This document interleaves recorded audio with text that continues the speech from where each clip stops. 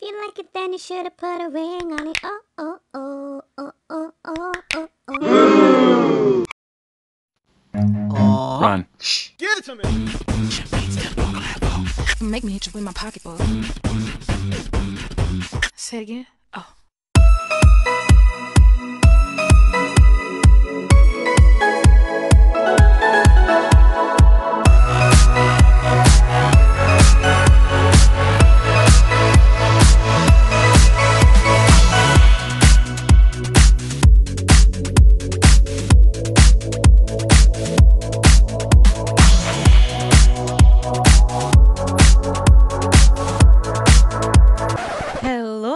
Welcome back to my channel. I am your host, Natalie J, as usual. And if you are new, hi.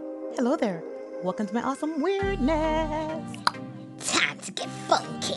So, lately I've been gagging over colorful brows and glitter liners. So, their makeup gods bless these fingers so I can get this done. Ha! All right, y'all, let's ride this train wreck to the sauce. So I did start with some purple gel and set it with purple eyeshadow just to kind of get the flow of everything started. Then I went in with the lightest purple in the palette and started at the front of my brows and began diffusing the color. To harsh brows, we say no. That's my wish. Then I took this pinkish purple and set that between both colors and started fluffing everything out just to achieve a gradient effect. in full effect effectively. Ha! Like, uh, no harsh brows though, you know? So, y'all, can we have a moment of silence, please?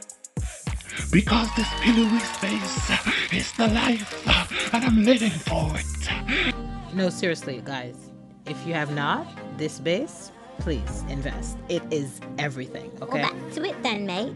I'm now going back in with the darkest purple I used earlier to set my brows and just placing it in my crease and fluffing everything into place.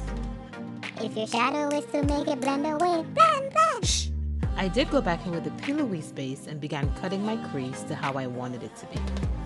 Like these colors, okay? Can somebody bring me a fan? Cause my skin is hot. Bruh. But seriously though, all jokes aside, this palette is freaking amazing, okay? I will do a review on it, but I wanted to make sure that I use its ability to the limit just before I can sound legit, you know? Okay. Ha! After setting the yellow as my base color, I then went into some lash glue just to set it down and apply the glitter as liner. And literally, this is a total random compilation of every glitter that I have in my collection. And voila! Now for the tricky part. My preference was to do this with a different color liner, but I did not have one in my collection, so this would do. Baby, let me upgrade you. I literally can never get liner right. Like, I go from bad to worse every time. Oh well, it's FaceTime. Now, adding my secret potion, I'm gonna go with my Black Opal True Color Foundation and place it all over my face using a stippling brush. And honestly, most days I never go too close to my eyes because I'm gonna put concealer there anyways, so it's a little redundant. now I'm taking my L.A. Girl Pro Concealer and just setting in the highlighted spots. And a tip I would suggest is to let it sit on the skin for a while before blending it out. Reason being is when it's watery, it's a little bit more difficult to work with, so let it sit just kind of makes it a little bit more tacky and it becomes way more mutable. Is that TMI though? Now I'm taking this Fenty Beauty highlighter and just summoning the makeup gods to rain this glow on me because listen. The highlight though. Ha!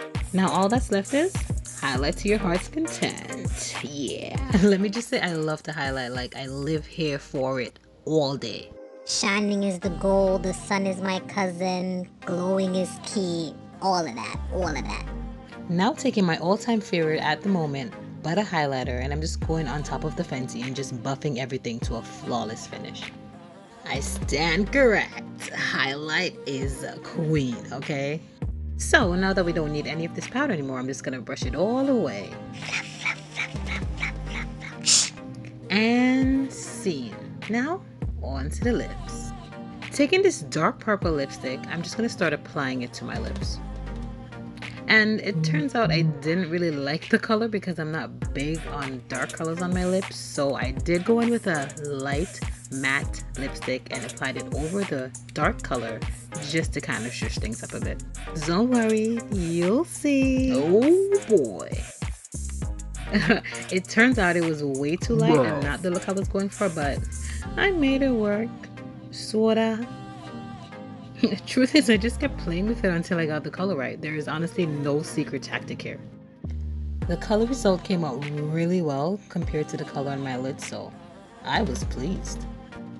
The makeup gods have tipped my fingers with their makeup glory, okay? Why don't you focus? Oh, yeah, right. so what I'm doing, I'm taking my Urban Decay pencil and lining my waterline. Then I'm going with my mascara and just applying it to wherever is needed. Oh, yeah. And just a point when doing mascara on bottom lashes is light brush strokes because if you smudge, it can be a total shut your mouth. And I'm just adding the finishing touches, and I think that's about it, guys. I did it. I, I, I, I, I did it. Oh, yeah. Shh. Honestly, it came out way better than I expected, so I am well pleased. If you're happy and you know it, clap your hand. Not what I expected, but I'll take it. And that's about it, Awesomes. Have the most beautiful time in the world. Bye.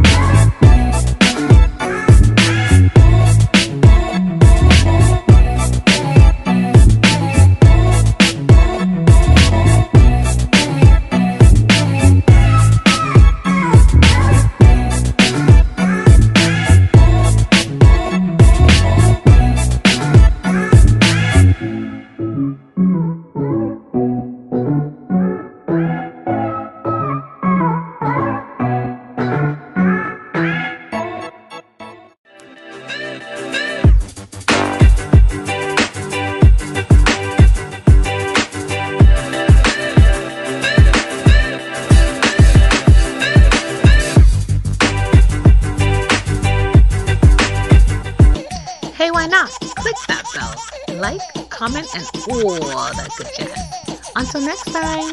Ciao. Shut your mouth. Hey, hey, don't go. If you love this video, you'll love the rest of my videos. So go check them out. Have a look see. And I hope you enjoy.